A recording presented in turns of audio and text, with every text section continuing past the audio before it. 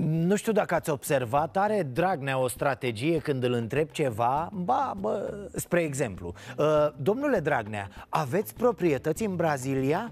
Domne, da? Eu merg prin multe locuri din lumea asta Nu înseamnă că îmi cumpăr peste tot proprietăți Asta e o prostie Sau, sau uh, Domnule Dragnea, aveți o fermă de porci? Dar de ce puneți problema așa? Eu mănânc și pui, și vită, și oaie Acum să nu credeți că îmi fac fermă pentru fiecare animal Exact la fel a răspuns Dragnea și ieri aveți o legătură în sensul că ați beneficiat de această trecere de la Consiliul Județean la această firmă pentru a folosi dumneavoastră în fel lacul? Nu. Acolo pescuiesc mulți oameni. Te duci și pescuiești. Și foarte simplu, ca și pe Dunăre. Uh, dar eu am fost la pescuit în multe locuri din țara asta. Acum, ce fă, ia pe toți. Unde am fost eu la pescuit. A? Școală, școală, mă rog, circ ieftin, e doar circ Dar nu e rău, nu e rău deloc. Pe de o parte ies la suprafață mizerii care se știau. Nu știu cum se face, dar parcă ne pierdem capul când apare un scandal de ăsta Presa, da, da, presa asta proastă vândută cum o calcă toți în picioare Scria acum mai bine de 3 ani despre trecerea asta cu cântec a exploatării piscicole. Și ca să nu ziceți că bat câmpii, deschidem împreună ziarul Adevărul din ianuarie 2000 2014 Citez. Din 2011, societatea Teldrum gestionează pescuitul industrial în zonă, pe Dunăre și în bălțile din apropiere.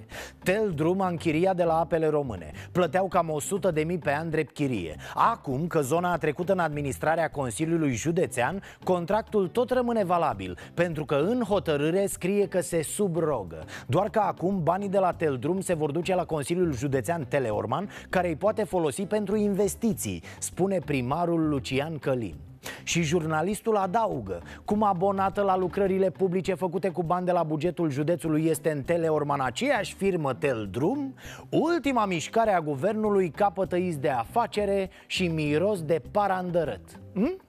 Ce să zic, era ok dacă justiția clarifica asta până acum, nu credeți? Asta e marea problemă a societății noastre. Ăștia care conduc țara se au la mână unii pe alții. Dacă tu, justiție, știi ceva despre cineva și ții acolo în sertar Pentru când îți va fi ție util Ei bine, nu mai pot spune că funcționezi în interesul public. Funcționezi și tu, justiție, în interesul unui grup.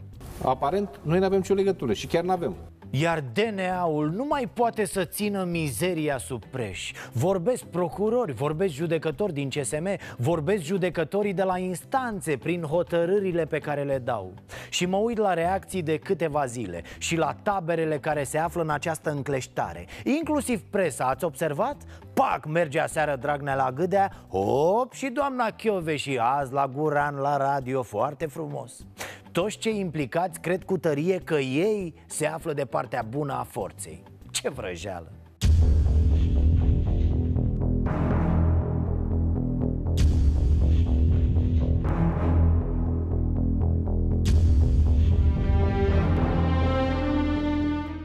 E mulți văd această luptă ca o confruntare între bine și rău. Și cred că asta e marea noastră greșeală. E în ADN-ul nostru să ne alegem o tabără și să devenim fani necondiționați. Să ne îndrăgostim respingând apoi vehement orice argument al părții adverse. Eu tind să văd tot ceea ce se întâmplă ca pe o confruntare din interiorul unei lumi care trebuie să dispară, fraților, dacă vrem să avem vreo șansă. Oricât s-ar supăra unii, sistemul ăsta trebuie să dispară cu tot cu reprezentanții lui. Oameni care prin diverse găști au făcut și au desfăcut totul în România ultimilor aproape 30 de ani. DNA trebuie să se credibilizeze, să scape de imaginea de remorcă a SRI-ului, de braț armat și cu cătușa lui Coldea, să scape de dosarele făcute doar ca să fie trimise în judecată, ca apoi să le dea judecătorii cu ele în cap, să scape de un șef discreționar care pare să fi luat cei mai rău de la Traian Băsescu. Am primit tot felul de mesaje, informații în weekendul ăsta, nu știu dacă sunt reale sau nu, că nu vor să limiteze la mine, vor să-mi ia și copilul soția a fost asociat una la alta. Este o luptă între abuz și democrație, între niște metode de poliție politică și metode democratice. E, nu-mi spune. Nu-mi spune Neali Vache că în lupta asta dintre abuz și democrație Matale joci democrația, a? Pentru că nu jucați niciunul, nici democrația, nici statul de drept. Sunteți România de până acum și unii și alții. Adică România prieteniilor, a grupurilor de interese. Oh, oh, da, mai ales a grupurilor de interese. Nu poți ca în fruntea celui mai mare partid dintr-o țară UE Să ai un tip precum Dragnea. O repetăm, domnul e genul de mulgător de bani de la buget. Cum mulge Nenea Daia vacile și oile Așa mulgeau Dragnea cu Oprișan, cu Hrebe și cu alții județele.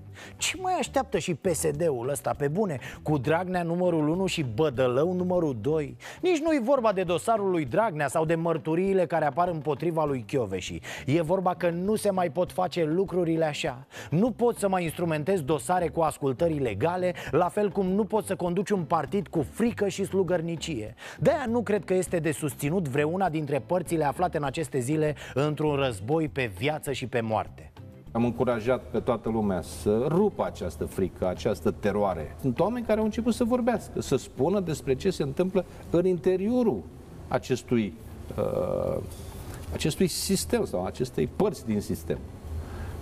Procurori care au început să vorbească, foști ofițeri care au început să vorbească, o anchetă, o comisie de anchetă parlamentară care nu și-a încheiat activitatea, care a fost sfidată de procurorii șefi a, sigur, exact cum vorbesc unii procurori și judecători despre și La fel vorbește Ponta și vorbesc și alții despre Dragnea și despre debarcarea lui. Acum Ponta s-a lipit și el public la dosarul cu Belina Dar și spune că e din luna mai acest dosar. Din mai cu 2017, deși v-am arătat ce scria presa în 2014 2014, ați fost ocupați, eh? Dosarul nu este din 2014 acest dosar a fost deschis în luna mai 2017. Suntem în septembrie. Deci în decurs de 4-5 luni de zile, noi am făcut primele acte și primele verificări. Nu se mai înțelege nimic, este? Oricum, sunt toți victime. Iar n-ai loc să verși o lacrimă de ăștia. Domnul Dragnea, sunteți martiri, domne, ce vorbești? Să vezi înghesuială la moaștele lui Livache Mai ceva ca la tigăi la hipermarket. O să se omoare oamenii, bre, ca să te atingă pe hamsterul făcător de minuni. O să se frece băbuțele cu el pe la încheieturi Să le mai aline reumatismul eu zic așa, vorbește matale Nealivache cu Codruța Că poate o luați așa frumos de mânuță Vă duceți încolo Cum unde încolo? În istorie Hai repede să vă prindă pop în manualele astea noi